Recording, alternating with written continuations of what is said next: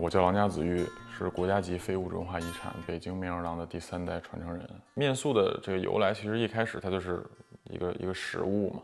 然后后来在祭祀上面会出现，我们把它把这个食物做成很漂亮、很体面的这种样子，把它献给我们的祖先，然后或者是我们很尊敬的这种前辈们。那后来呢，这些实用性跟观赏性具备的这些产品，慢慢的就脱离了实用性，就只剩观赏性了。那这个东西就慢慢变成了面塑。大概三四岁的时候吧，开始跟我爸去学做这个东西。他在我小的时候会经常在家里边做面人，然后我在旁边看的时候就觉得很有意思。我爷爷是因为小的时候家境的原因，就是突然家境落寞了，然后他就不得不去自己找一个营生去维持自己的生活，然后在北京白塔寺那边遇到了一个老师傅，自己很喜欢这个手艺，就学了这个手艺，然后从那个时候开始就用这个手艺来养活自己。然后我爸这一辈儿呢，那个时候传统手工艺的这个氛围可能就没有那么浓了，它不是一个很容易养活自己的一个职业了。然后他就用别的工作来维持自己面塑的创作。我叫杨月，九四年生人，从事非遗剪纸工作。我父亲也是一位非遗传承人，他是制作北京扎燕风筝的。父亲在我小的时候呢，经常带我去看一些民间工艺美术的展览。有一次在展览上，我看到了一幅叫做“铜根”的剪纸作品，觉得这个技艺实在是太神奇了。我父亲呢，其实算是一个比较另类的人，啊，他呢，从国企辞职。然后学习了扎燕风筝，并且一直是坚持下来。但是想把这件事儿作为一个职业来发展的话，其实还是很难的。关注度以及社会对他的认知都没有那么高，他是逐渐成长起来的。相当于我是赶上了一个好的年代，所以才能把它当成一个职业。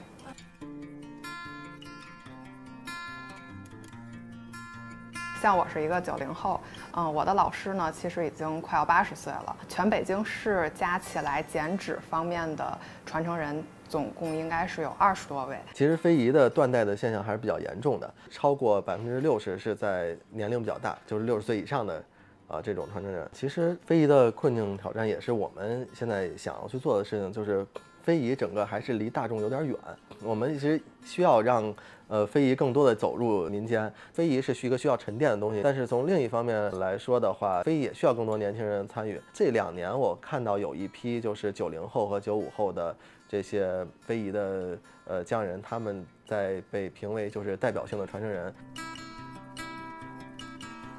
我就是一直在做自己很喜欢的东西，我只把这个传统手工艺的这种技巧当做一个方式，就像写歌或者是。画画或者是做视频等等等等的，这种它只是一个方式，最终还是用来表达你自己的。你自己的在这个时代里边的所有感触，其实也都是鲜活的，是能跟周围的人产生共鸣的。比如说之前做过一个手机的一个作品，那其实因为我发现手机在我们生活当中扮演了一个越来越重要的角色，我也自己也没法判断这个东西是好还是坏的，我只能说它越来越深的影响着我，所以我就把这个观察。这个感受用面人的方式做出来，通过一些比较有共鸣性的话题，通过作品去征服更多观众，也让更多人去了解到有这样的一个小众的方式，这样一个材质，这样一种创作的手段。我和我先生开了一个摄影工作室，我在接待区展示了一些剪纸作品。我们还想要把这个剪纸作为。布景，或者说作为元素，然后融入到这个主题拍摄里面。我觉得国潮回归这个趋势吧，就是其实对于传统的行业来说都是一个契机。我们也可以在这样的潮流下面去对传统的一些题材进行一些改造，然后也是一个很好的机会去向大家去展示我们的手艺到底是什么样的，在这个时代也重新获得自己的这个。